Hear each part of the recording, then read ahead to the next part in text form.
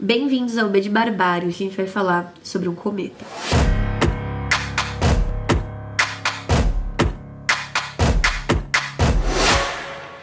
Bom, pessoal, eu recebi esse livrinho aqui da editora Fósforo, que é uma editora que está chegando agora no mercado. Eles têm um caldo aí de edições de direitos da Três Estrelas, então vai ter bastante lançamento esse ano. E eu peguei esse aqui em específico, que é o mais curtinho deles, para poder comentar um pouco com vocês. Ele traz o conto do W.E.B. do Bois, chamado O Cometa, e também a análise do conto, chamado O Fim da Supremacia Branca, da Saidita Hartmann. A tradução é do André Capilé. Esse conto aqui, na verdade, ele faz parte de um almanaque, de um, de um livro que tinha diversos textos e que foi escrito depois da pandemia de 1918. Esse livro inteiro trata da questão da negritude, da branquitude, das opressões de raça.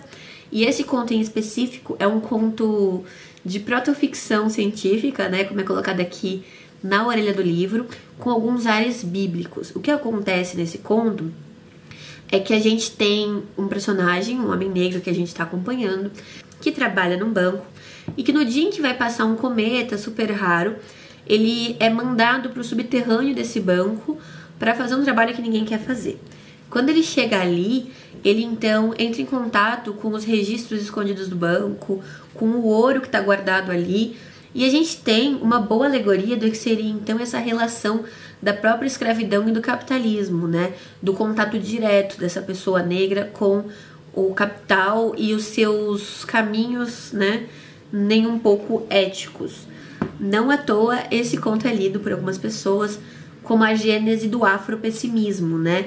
Porque ele já se coloca desde o início, fazendo essa retomada histórica e movendo a gente para um futuro que não parece muito propício. O que acontece é que esse cometa vai passar e vai ter um monte de gente assistindo a ele, mas por causa dele liberam-se gases tóxicos e essa população morre.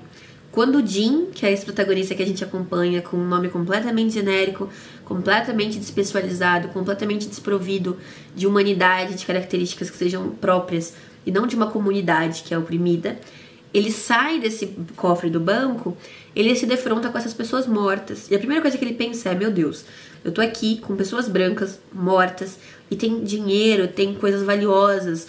Ele começa a refletir sobre como a vida dele não vai valer nada a partir do momento que ele for colocado nessa situação. Só que ele sai do banco. E quando ele sai do banco, ele vê que isso aconteceu com toda a cidade. E a primeira reação dele é, de certa forma, testar os mecanismos de opressão dessa cidade porque as pessoas estão mortas. Aconteceu um momento apocalíptico. O que acontece é a suspensão das regras sociais que colocam ele como inferior. Então ele vai num restaurante chique para ver se ele vai ser expulso dali. Porque se houver alguém, alguém vai aparecer para expulsar ele. É quase que um instinto que ele tem de ir lá e ver se ele consegue uma reação. E essa reação não existe, porque as pessoas realmente estão majoritariamente mortas. Até que ele se encontra com uma personagem que é uma mulher branca de classe alta que acabou não morrendo porque ela estava dentro de uma sala de revelação de fotografia no momento em que passa o cometa. Os dois se encontram e a gente tem uma relação entre eles que vai progredir durante o conto, porque primeiro existe o, a, o apego um do outro, de meu Deus, tem alguém aqui. Então eles se encontram ficam aliviados e depois tem uma pequena ressaquinha do calma, mas é um homem negro, é um homem bruto, é um homem agressivo. E aí, com o tempo, essa mulher vai compreendendo que esse homem em nada difere dos homens brancos com quem ela convive, no sentido de humanidade mesmo, né? Então a gente tem essa suspensão para mostrar que no individual não existem essas diferenças, mas que para que essas diferenças possam ser colocadas à prova para a gente ver, é preciso suspender a sociedade, que é algo que não se faz com uma facilidade. Uma coisa que eu achei interessante sobre um comentário que foi feito aqui nesse texto da Saidita a respeito do, do momento histórico em que é escrito o livro é que a pandemia da gripe de 1918 não aparece nesse inventário de textos que inclui o cometa. Talvez porque micróbios tenham parecido benignos quando comparados ao derramamento de sangue do verão vermelho, ou porque a cada ano, entre 1906 e 1920, os moradores negros das cidades tenham experimentado uma taxa de mortalidade equivalente ao número de pessoas brancas mortas no pico da pandemia.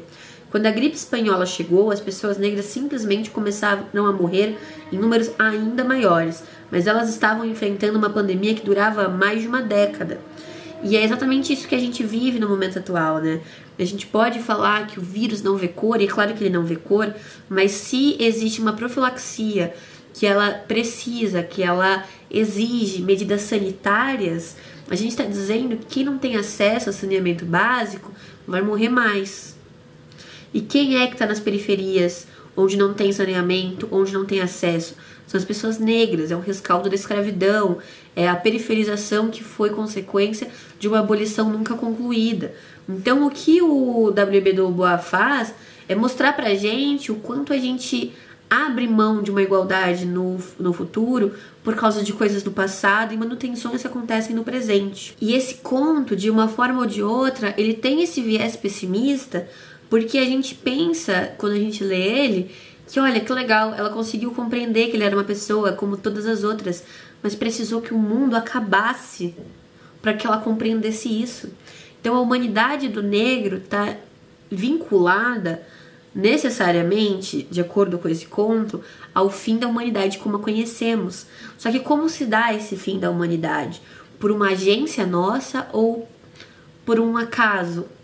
Por um momento que coloca a gente numa situação limite, né? E aí vale a reflexão do quanto a gente apresenta projetos de futuro, quando a gente tem essa coragem de romper com o passado para que essas desigualdades não continuem se repetindo. E aí a gente passa o texto, existe um momento em que os dois personagens acabam se lembrando dos familiares e querendo ir atrás dos familiares, enquanto esse homem negro passa pelo Harlem à procura dessas pessoas que ele ama, não as encontra e recolhe então uma lembrança, que a gente só vai descobrir o que é ao final do livro, a gente tem essa mulher se encontrando então com um bilhete do pai. A própria questão da, da escrita está colocada aqui como um privilégio, o registro, o tempo, né? Porque tudo isso são privilégios da branquitude. Então, existe essa diferença na colocação de onde estavam cada um dos familiares no momento em que esse acidente aconteceu. É, de certa forma, esse espaço que é determinado pelas relações políticas e sociais da nossa época. E aí, é claro, como se espera de um conto que vai trazer um homem e uma mulher, e é interessante exatamente essa escolha do homem negro e da mulher branca, que é o tipo de relacionamento interracial mais comum, exatamente porque as mulheres negras, a gente sabe, são as que mais sofrem com a solidão dentro da negritude.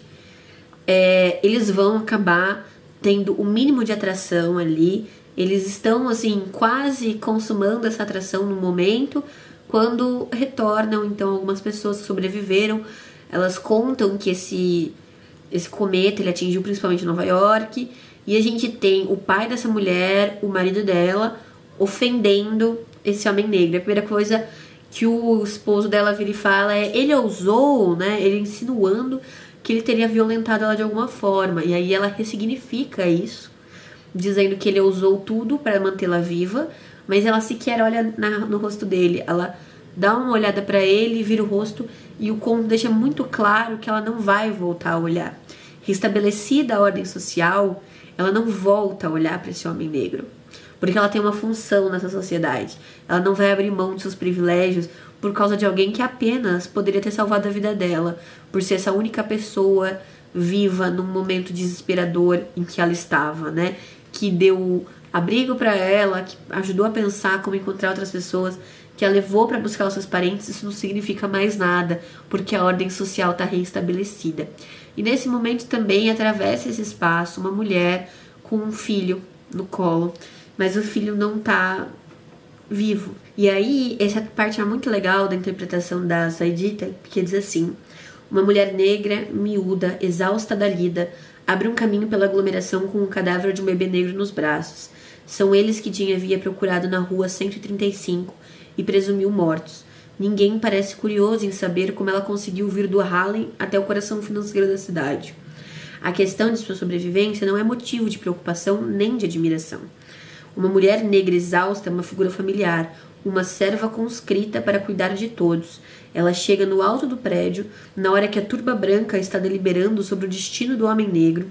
Ela é uma mulher marcada, mas eles não a chamam de rainha nem de vadia. E aí depois, na página seguinte, ela conclui. O cadáver bebê coloca em dúvida qualquer esperança de futuro, uma vez que a linha genealógica termina de modo abrupto e prematuro nos braços dela. A criança morta atenua a visão daquilo que poderia ser, priva-os da procriação e legado, sugere a falha dela em nutrir e proteger. E é muito interessante porque aqui, apesar de eu achar que não foi exatamente a intenção do Dubois, porque ao meu ver ele, ele vê essa negritude como algo mais homogêneo, a gente tem essa colocação de como a mulher negra ela não é vista como uma mãe no seu sentido mais amplo, porque a mulher negra ela não está nesse espaço do cuidado como a mulher branca tá. A mulher negra sempre trabalhou, a mulher negra sempre carregou o mesmo peso que os homens, sempre trabalhou as mesmas horas que os homens, nunca teve esse benefício, né, por causa da sua condição de mulher. Isso é muito bem colocado pela Sojourner Truth no discurso dela e não sou eu uma mulher, porque ela faz essa contraposição da diferença entre a mulher branca e a mulher preta. E aqui a gente tem isso de novo voltado para a maternidade. A gente tem essa impossibilidade de futuro como um espelhamento do cerceamento do passado dessas pessoas. Porque assim como eles não podem procriar porque seus filhos estão muito mais sujeitos à mortalidade infantil, seja por questões sociais, básicas, como o saneamento básico, eu comentei, seja pelo poder do Estado, que assassina, que tem o genocídio do povo preto e que mata principalmente jovens homens negros na periferia, ele faz esse espelhamento da impossibilidade de futuro com a impossibilidade de resgate do passado. Então, essas pessoas também tiveram seus familiares separados, as suas línguas impedidas de serem faladas, as suas tradições impedidas de serem passadas adiante. Tudo isso trabalha como um espelho para mostrar que o lugar de agora é o lugar de sempre e o lugar de agora é um lugar de opressão. Entenderam o afropessimismo? Entenderam como esse livro trabalha nessa chave? Ainda que seja bastante pessimista, e eu gosto de acreditar que a gente não viva nessa determinação toda de futuro, que a gente está nessa imobilidade de movimentar as estruturas desse sistema, é muito interessante para fazer uma reflexão da profundidade dessas relações de opressão. Como eu disse lá no Instagram, é um livrinho curtinho, mas muito potente. Dá para ler num dia, é uma ediçãozinha de bolso e super bonita. Vou mostrar aqui para vocês os detalhes internos. Tem ilustrações aqui na parte de dentro e assim como os outros livros que chegaram aqui, pelo menos da Fósforo, eles todos têm uma não sei se vai dar para ver, mas eles têm uma textura em que o símbolo da fósforo está em todo o livro gravado. É bem gracinha, vale super a pena conhecer. É isso, pessoal. Espero que vocês tenham gostado desse vídeo. Se gostaram, se inscrevam no canal clicando na bolinha com o meu rosto que vai aparecer aqui na tela. Também deem uma olhada nos outros conteúdos que aparecem por aqui. Deixem seu like para ajudar na divulgação do canal aqui na plataforma. Um beijo e até a próxima.